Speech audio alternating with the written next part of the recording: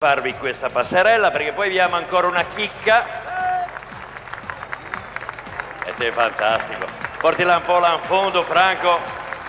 Non ti far scivolare la mano.